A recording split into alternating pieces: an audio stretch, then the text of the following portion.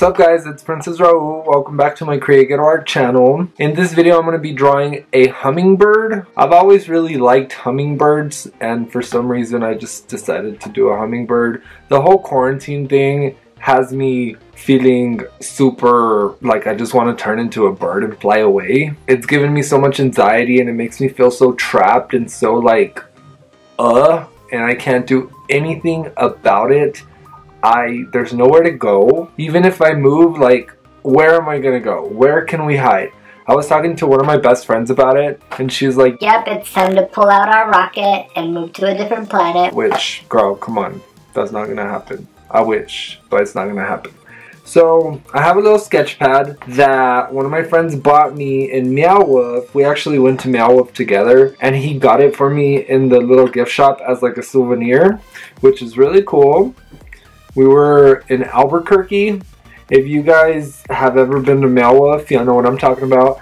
There is supposed to be a location opened here in Colorado, which I'm super excited about, but now it's going to be like when is it gonna open, you know? We can't even go to Michael's anymore. We can't go to the bars. So Meow Wolf is gonna be a minute before it opens. Um, I decided I was gonna do a little bit more art while in quarantine because like what else am I supposed to do? I have to keep myself occupied which obviously thank God for Create Ghetto Art. This is like my escape, my time to continue to to grow as an artist and put out more artwork. Creating art is definitely one of the ways I cope with life. And when I mean life, I mean like my life. Yet again, this whole like quarantine bullshit has got me tripping. So like creating art is a good outlet for me. By the way, what are you guys doing for being able to like deal with all this? How are you guys keeping yourselves busy? Leave a comment below. Let me know what y'all are up to, what y'all are doing.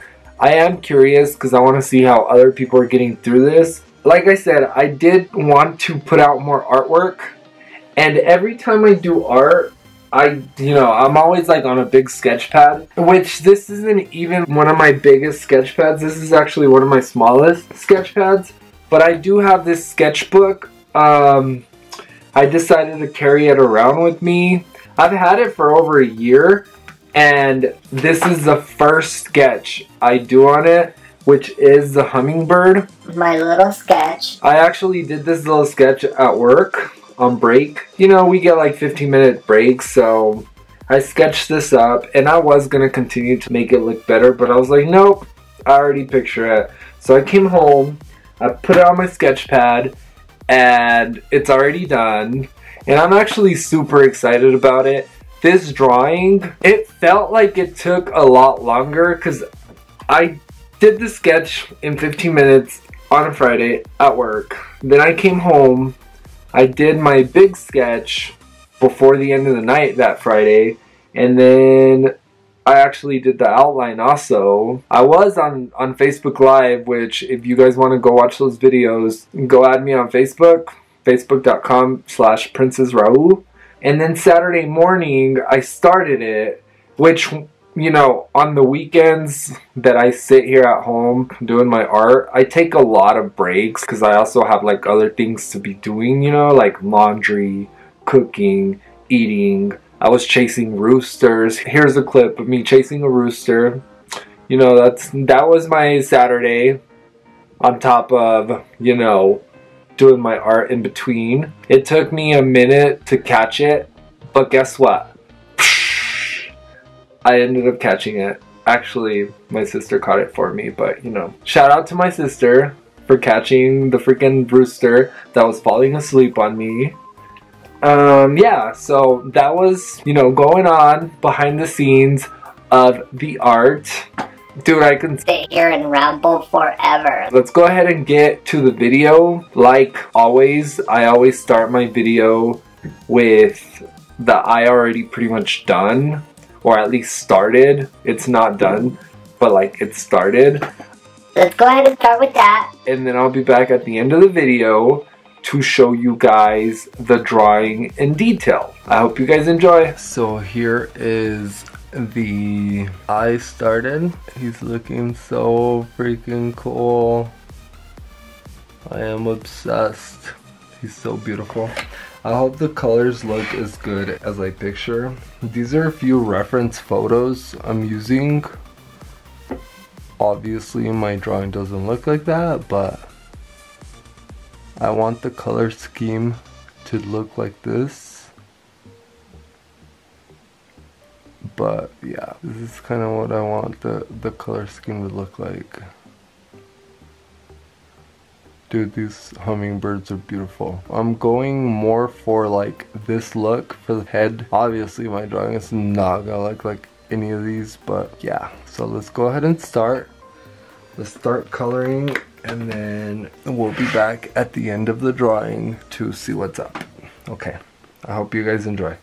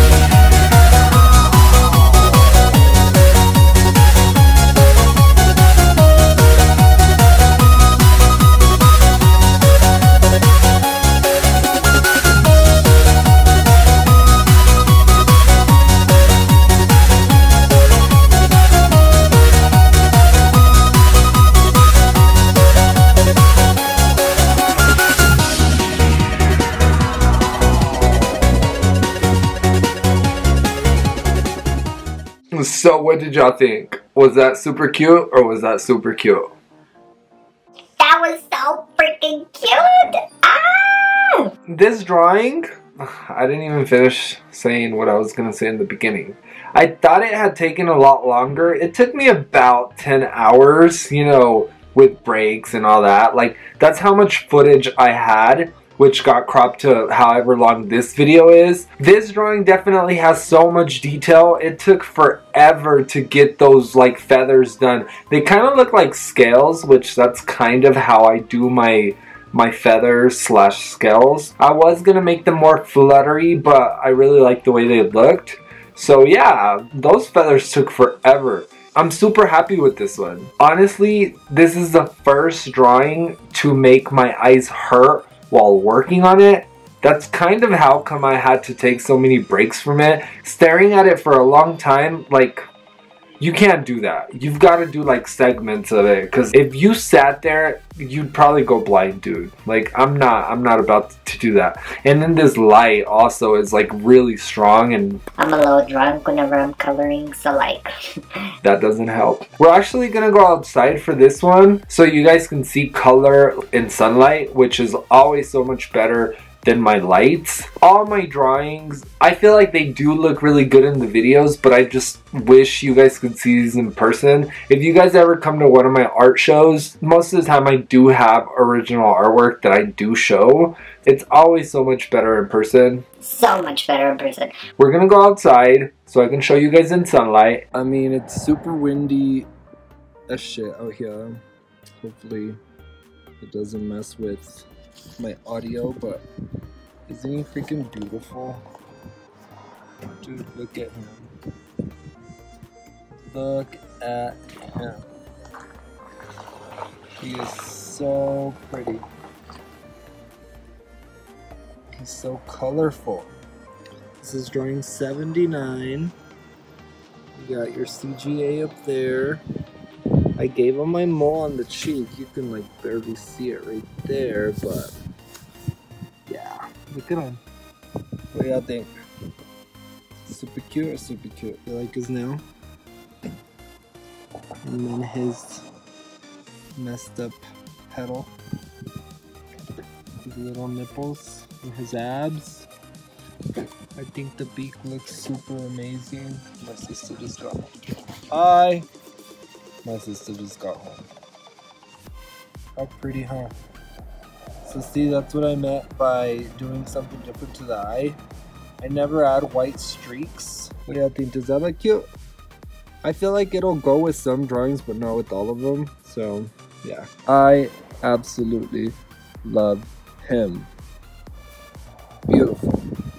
I guess it wasn't as windy as I thought it was. It felt like it, but in the video you can't really hear it. This one, obviously the wings are like this. It does have my tattoos, but they're on opposite sides.